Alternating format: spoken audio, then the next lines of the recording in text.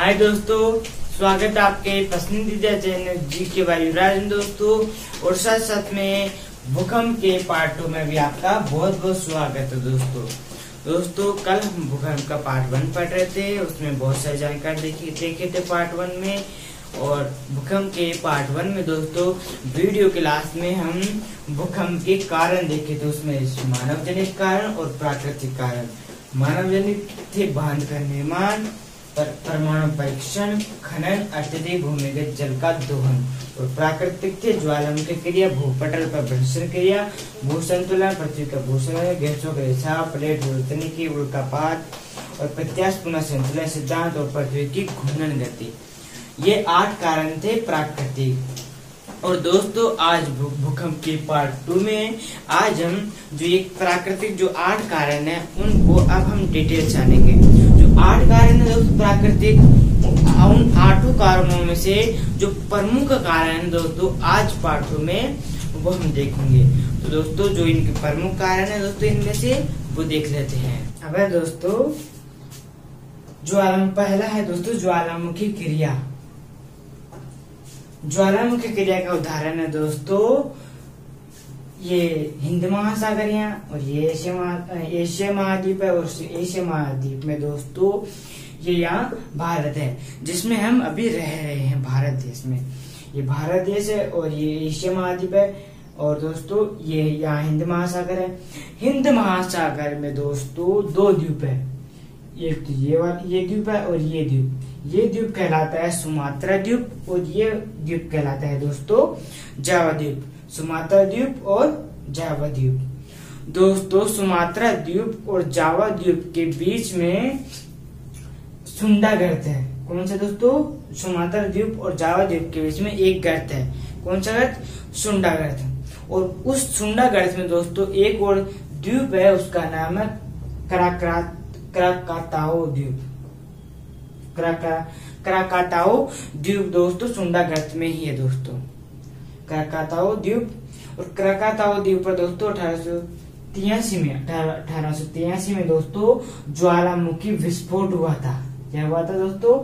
ज्वालामुखी विस्फोट हुआ था कब? क्राकाताओ द्वीप पर अठारह सौ तिरासी में एक ज्वालामुखी विस्फोट हुआ था।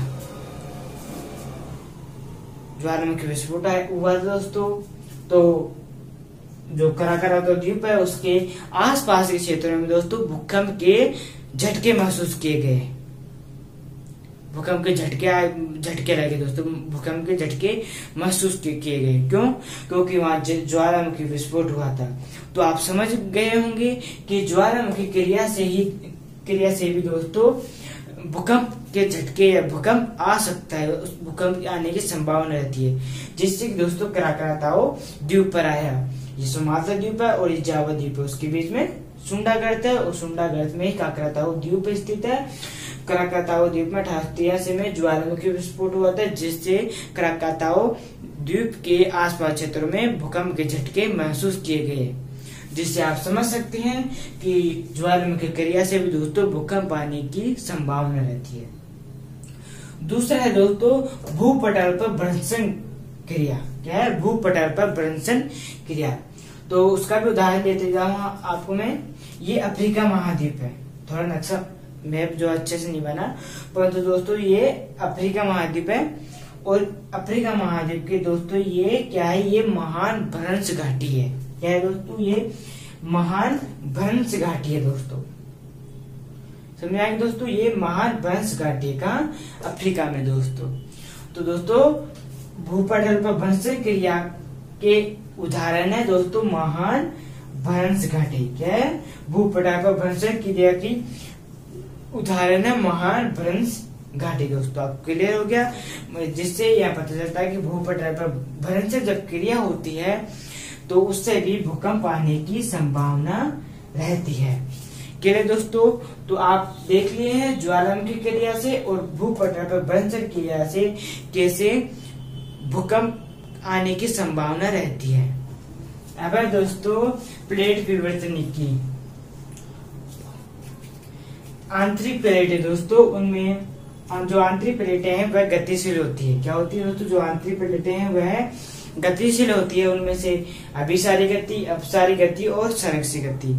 जब दो प्लेटों की जब अब अभी अभिसारी गति होगी, दो प्लेट जब अभिसारी गति करेगी, दोस्तों तो उससे भी भूकंप आ जाता है। और जब दो प्लेटें दो प्लेटें अपसारी गति करेगी तो उससे भी भूकंप आ जाता है। अभिसारी गति, और जब दो चट्टानों की अभिसारी या अपसारी गति होगी तो उससे भी भूकंप आ जाता है। क्लियर दोस्तों? प्लेट विवर्तनी की चौथा है प्रत्याश पुनः संचलन सिद्धांत। यह प्रत्याश पुनः संचलन सिद्धांत। इसकी खोज दोस्तों एच एफ़ रीड ने की थी।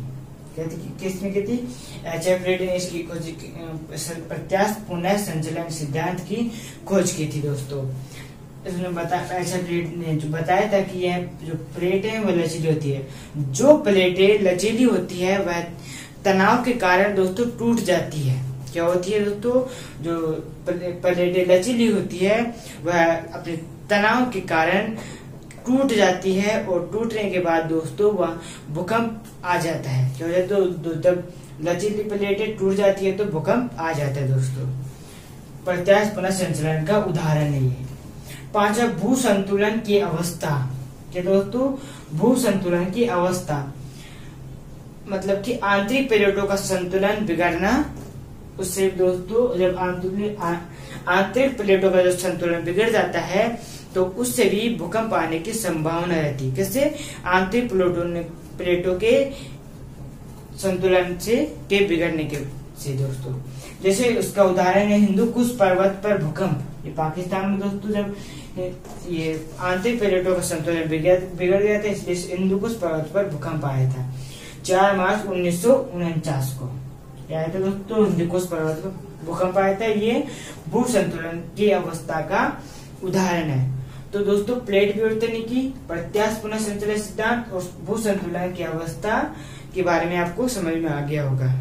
अब दोस्तों, भूकंप के प्रकार। क्या है दोस्तों? भूकंप के प्रकार। तो दोस्तों, भूकंप के बहुत सारे प्रकार हैं। भूकंप मूल की स्थिति के आधार पर, भूकंप की उत्पत्ति के आधार पर और भूकंप की स्थिति के आधार पर। क्या? भूकंप मूल की स्थिति के आधार पर, भूकंप की उत्पत्ति के कारण के आधार पर, भूकंप की स्थिति के आधार पर। दोस्तों, भूकंप मूल की स्थिति के आधार पर तीन प्रकार के भूकंप होते हैं। और भूकंप की उत्पत्ति के कारण के आधार पर चार प्रकार के भूकंप होते हैं। और भूकंप की स्थिति के आधार पर दो प्रकार के भूकंप है दोस्तों। कौन कौन से? भूकंप मूल की स्थिति के आधार पर तीन प्रकार के, भूकंप की उत्पत्ति के कारण के आधार पर चार प्रकार के और भूकंप की स्थिति के आधार पर दो प्रकार के उनमें से पहला है भूकंप मूल की स्थिति के आधार पर सामान्य भूकंप, दूसरा मध्यवर्ती भूकंप और तीसरा पातालीय भूकंप। ये तीनों है दोस्तों, भूकंप मूल की स्थिति के आधार पर। सामान्य भूकंप क्या होता है? दोस्तों, ये धरातल है। क्या है दोस्तों, ये धरातल है। और दोस्तों, धरातल से 50 किलोमीटर की गहराई पर अगर किसी भूकंप का उद्गम होगा किसी किसी भूकंप का निर्माण होगा, कैसे भूकंप का उद्गम होगा दोस्तों धरा से धरातल से 50 किलोमीटर की नीचे गहराई पर। अगर किसी भूकंप का उद्गम होगा तो उसे हम सामान्य भूकंप कहेंगे। क्या कहेंगे? उसे हम सामान्य भूकंप कहेंगे। और दोस्तों, जहाँ भूकंप का निर्माण होता है, उस स्थान को भूकंप मूल कहते हैं। ये हम पहले पढ़ चुके हैं। और दोस्तों, जो सामान्य भूकंप है, ये कम विनाशकारी होगा। क्या होगा दोस्तों? जो सामान्य भूकंप है, ये कम विनाशकारी होगा। जब सामान्य भूकंप आएगा तो यह कम विनाश करेगा। तो आपको समझ में आ गया होगा।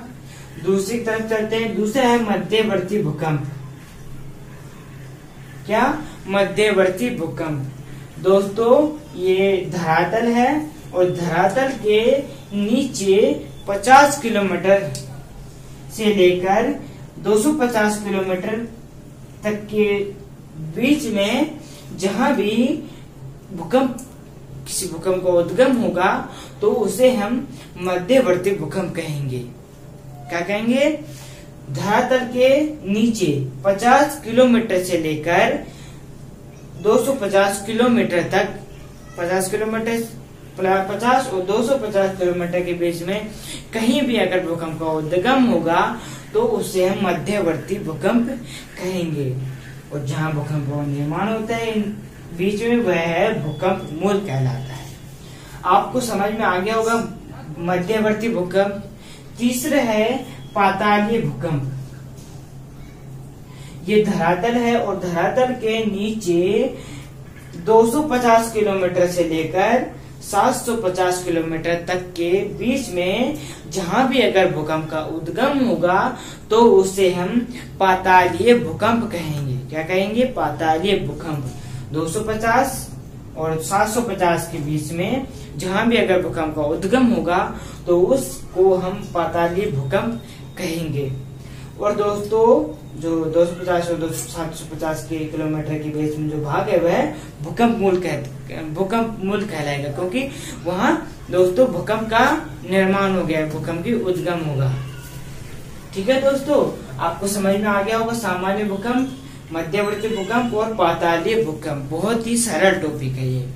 भूकंप के प्रकार में दोस्तों, भूकंप मूल की स्थिति के आधार पर सामान्य भूकंप, मध्यवर्ती भूकंप और पातालीय भूकंप थे। इन तीनों तीनों भूकंपों के बारे में हम पढ़ चुके हैं दोस्तों। अब दूसरा था भूकंप की उत्पत्ति के कारण के आधार पर। चार प्रकार के भूकंप होते हैं, वो देख लेते हैं। आगे दोस्तों, उत्पत्ति के कारणों के आधार पर ज्वालामुखी भूकंप, दूसरा संतुलन मूलक तीसरा तनाव मूलक या भ्रंश मूलक, चौथा संपीड़क संपीड़क मूलक या वलन मूलक। उत्पत्ति के कारणों के आधार पर चार प्रकार के भूकंप होते हैं ज्वालामुखी भूकंप, संतुलन मूलक, तनाव मूलक या भ्रंश मूलक या संपीड़न मूलक या वलन मूलक। पहला ज्वालामुखी भूकंप। दोस्तों, ज्वालामुखी भूकंप यह ज्वालामुखी क्रिया के द्वारा होता है। किसके कारण होता है? ज्वालामुखी क्रिया के कारण होता है दोस्तों, ज्वालामुखी भूकंप।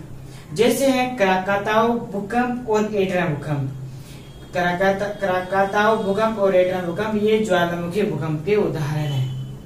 आपको समझ में आ गया होगा कि ज्वालामुखी भूकंप ज्वालामुखी क्रिया से होते हैं, जिसके उदाहरण है कराकाताओ भूकंप और एटना भूकंप। दूसरा, संतुलन मूलक। संतुलन मूलक यह भू संतुलन के कारण होता है। दोस्तों, जो संतुलन मूलक जो भूकंप है दोस्तों, यह भू संतुलन के कारण होता है, जिसमें है हिंदू कुश पर्वत भूकंप। क्या? जो हम पढ़े थे दोस्तों, ये क्राकाता भूकंप हमने पढ़े थे, और जो हिंदू कुश पर्वत भूकंप ये भी हमने पढ़े थे। तो वह संतुलन मूलक का ही उदाहरण है। तो आपको समझ में आ गया होगा, संतुलन मूलक भू संतुलन के कारण होता है, जिसमें है हिंदू कुश पर्वत भूकंप। तीसरा है तनाव मूलक या भ्रंश मूलक। तनाव मूलक या भ्रंश मूलक दोस्तों, भ्रंश की क्रिया के कारण होते हैं। किसके कारण होते हैं? भ्रंशन की क्रिया के कारण होते हैं दोस्तों, तनाव मूलक, जिसके उदाहरण है महान भंस घाटी, जिसके बारे में हम देख चुके हैं, और दूसरे जुआंडी फूपा भ्रंश घाटी। जुआंडी फूपा भ्रंश तनाव मूलक या भ्रंश मूलक दोस्तों, यह भ्रंशन क्रिया के द्वारा होता है, और इसके उदाहरण है महान भंस घाटी और जुआंडी फूपा जुआंडी फूपा भ्रंश तीसरा था तनाव मूलक और भ्रंश मूलक चौथा है संपीड़क मूलक या वनक व, वलन मूलक। वलन वलन के कारण यह होता है। संपीड़न मूलक या वलन मूलक जो भूकंप दोस्तों यह है वलन के कारण आता है। और जिसमें है वलित पर्वत वलन के कार, कारण आता है और वलित पर्वतों के सहारे आता है। वलित पर्वतों के सहारे। आपको समझ में आ गया होगा संपीड़क मूलक या वलन मूलक वलन के कारण आता है वलित पर्वतों के सहारे। केवल दोस्तों, कोई डाउट इनमें उत्पत्ति के कारणों के आधार पर चार भागों में बांटा गया है भूकंप को, ज्वालामुखी भूकंप, संतुलन मूलक, तनाव मूलक या बहंस मूलक भूकंप, या संपीड़क मूलक या वलन मूलक भूकंप। ज्वालामुखी भूकंप ज्वालामुखी क्रिया से होता है, संतुलन मूलक भू संतुलन के कारण होता है, तनाव मूलक या भ्रंश मूलक भ्रंशन के कारण होता है और संपीड़क मूलक या वलन मूलक वलन के कारण होता है। तो दोस्तों, ये थे उत्पत्ति के कारणों के आधार पर चार कारण, चार भूकंप। समझ में आ गए दोस्तों? अब दोस्तों, स्थिति के आधार पर। भूकंप की स्थिति के आधार पर दो भूकंप है, स्थलीय भूकंप और सागरीय भूकंप। क्या दोस्तों? भूकंप की स्थिति के आधार पर दो प्रकार के भूकंप है पहला स्थलीय भूकंप, दूसरा सागरीय भूकंप। स्थलीय भूकंप। स्थल भाग पर आने वाले भूकंप को हम कहते हैं दोस्तों, स्थलीय भूकंप। क्या कहते हैं? स्थल भाग पर आने वाले भूकंप को हम स्थलीय भूकंप कहते हैं। और सागरीय भूकंप? सागर और महासागरों में आने वाले भूकंप को हम सागरीय भूकंप कहते हैं। किन्हें सागर और महासागरों में आने वाले भूकंप को हम सागरीय भूकंप कहते हैं। इन्हीं के कारण दोस्तों सागर और महासागर में जब भूकंप आता है तो उसी के कारण महासागरीय लहरों की उत्पत्ति होती है।